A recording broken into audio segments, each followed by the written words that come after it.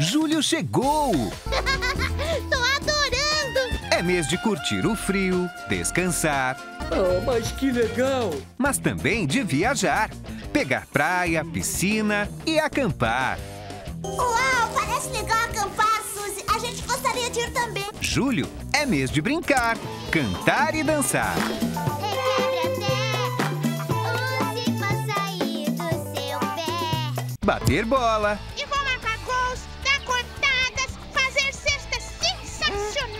porque julho é mês de diversão. É brincadeira, é faz de conta. A gente roda, roda, roda, roda e para. É mês de férias. Eu tô de férias!